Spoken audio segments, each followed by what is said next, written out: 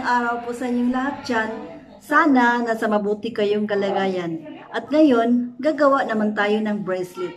At ito naman ang mga materialis ko. Shell na sigay. Ito ang pangkumbi ng aking gagawin.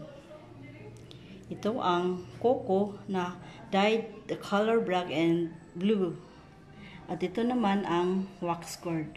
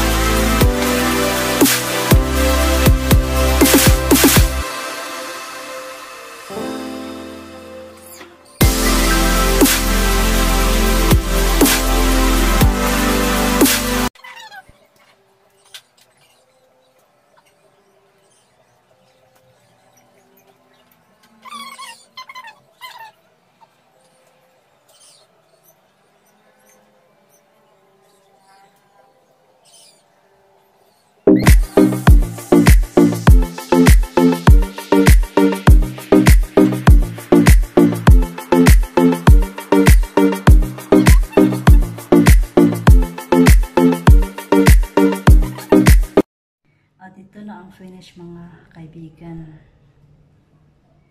Mga millennials, alam ko, gustong gusto niyo ito.